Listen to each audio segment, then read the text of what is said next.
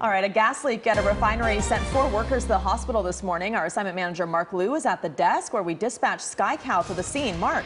Yeah, Rudabeh, I just got off the phone with Los Angeles City Fire Headquarters. Their public information officer gave me a big update. They say the good news is this gas leak has been turned off, but as you said, Four workers were sent to the hospital. Let me take you out to some SkyCal video of what it looked like just a short time ago. This is the Tesoro refinery in Wilmington just after 6:30 this morning. Los Angeles City Fire responded here for the report of a quarter inch line here, a valve that broke spilling butane and hydrogen sulfide into the air.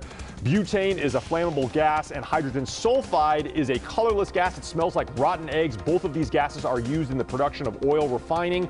Now this gas, it affected four workers at this facility. Three of them them were transported in moderate condition, but one very serious condition. You can see him there being worked on in the center of your screen. He went to the hospital uh, wearing a gas, uh, sort of an oxygen mask. We think he's in uh, serious condition but alive. The good news is this gas leak has been turned off. There is no further threat to the public, and Los Angeles City Fire says they are already clearing the scene. So, uh, but four workers sent to the hospital after this gas leak spilled those hazardous gases into the air this morning. That is the very latest here from the desk. I'll send it back to you.